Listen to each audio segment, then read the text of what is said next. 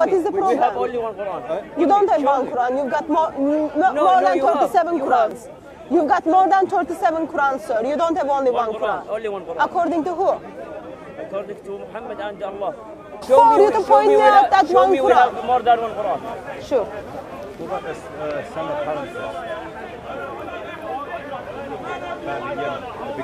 Are you Arabic speaker? Yes.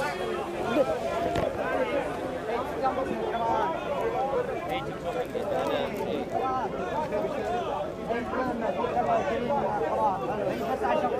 معاذ ايوه معاذ انا معاذ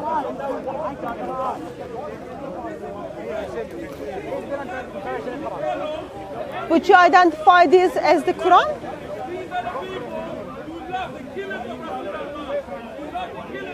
Give me, give me the, the first page, please.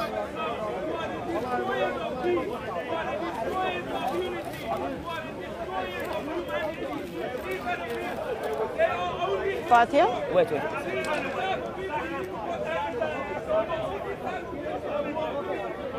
Yeah, sorry. So would you identify this as the Quran? This is Quran. Okay. So this is the Yusuf Ali translation with Arabic on one Which, side. which translation? Yusuf Ali translation. But I'm focusing on the Arabic. Arabic is on the other side. Would you identify this as the Quran? Can I see, please?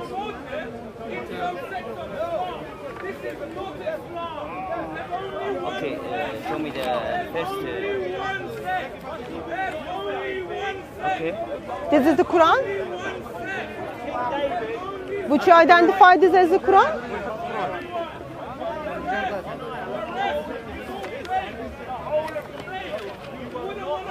It's same Quran. So, Different no, books, no. only different Okay, books. so, so this is the Quran to you ac- according to you as well? Uh, can, can you Yeah. read the question? So is this the Quran as well? Yes. Okay. So I show you three books and you identify them all the Quran.